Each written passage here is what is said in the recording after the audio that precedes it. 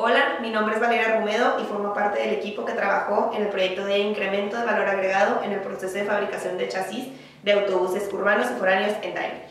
La problemática con la que contaba la empresa era el bajo porcentaje de actividades que agregan valor dentro del proceso.